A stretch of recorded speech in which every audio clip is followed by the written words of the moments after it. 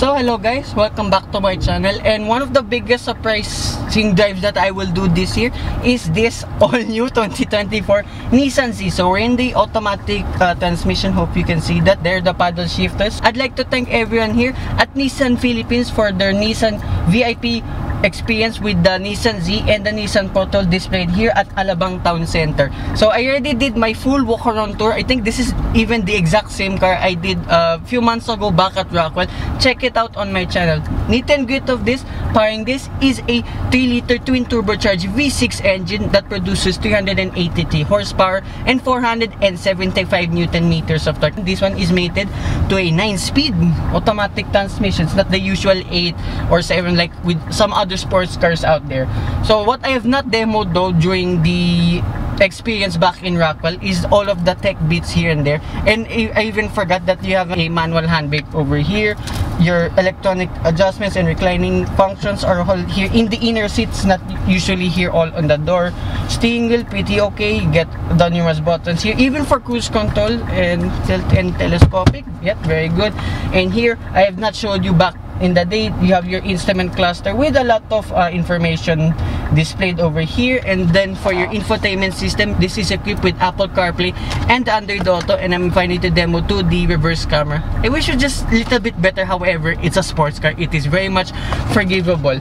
And more info here you can see your tire pressure monitoring system fuel economy. I'll try to give that later if it makes sense for a sports car. Right this is it. Going for a first dive in a Nissan Z. One of the most uh, unexpected cars I will drive this year. A bit of a dumb moment there. I thought this had auto hold function but you have a normal conventional handbrake which is good though.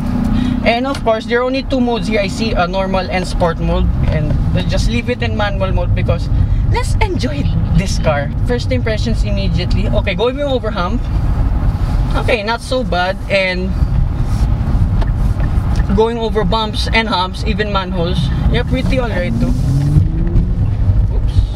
Yep, you have to watch out for this because this is kind of bumpy. However, it's pretty much tolerable. I was not expecting this kind of drive. Woo! Wow. Right, that was just low speed rollout.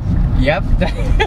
you can hear the engine singing and that was just a tap of the throttle. Wow. And despite to surprisingly being a turbocharged V6 engine, there's a lot of what I mean, there's a lot of sound which I didn't expect. Usually when it's a turbocharged engine, yeah, there's usually no noise going in that much. I don't think this is even pumped in audio. This is just a natural sound. Right, and then steering feel, even though in whatever mode you are in, uh, standard or sport mode.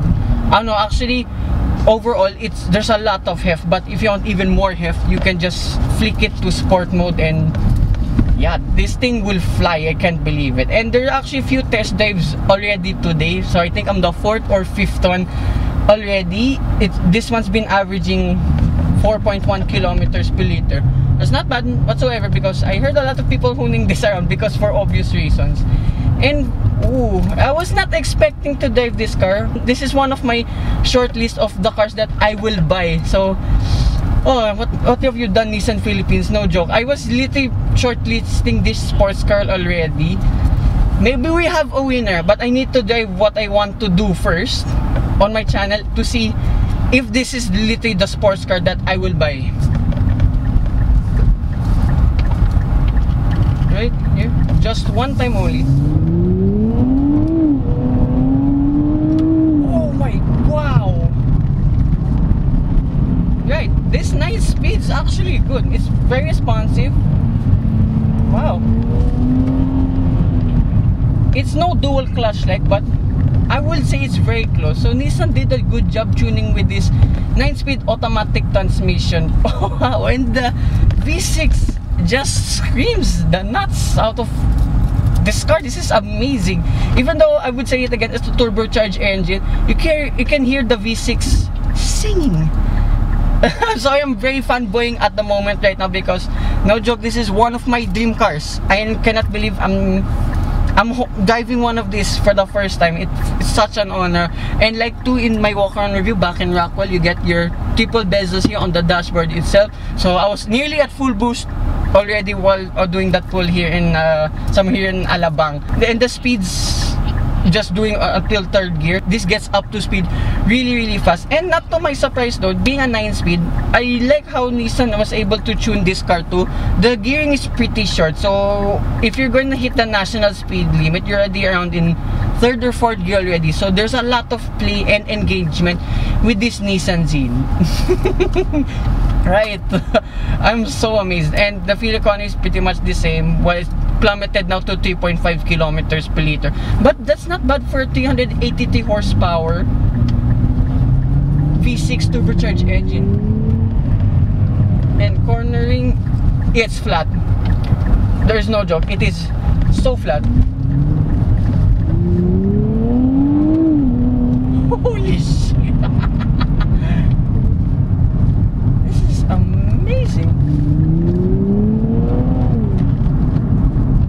wow brakes solid super solid right that's just the one lap I will do with this Nissan Z sorry if the camera shaking a lot for obvious reasons but what an honorable experience again I would like to thank everyone here at Nissan Philippines for their VIP experience here at Alabang Town Center. And special thanks to Miss Shai of Nissan Alabang who assisted me here today and with future reviews coming up in their dealer. And to Sir Mark over here on camera who assisted me here personally in his test drive. So hope you guys like and subscribe and maybe in the future Nissan Philippines we can have a lend out of this along to with the GTR. this will mean a lot and probably one step closer for me making a purchase of this Nissan Z. Bye-bye.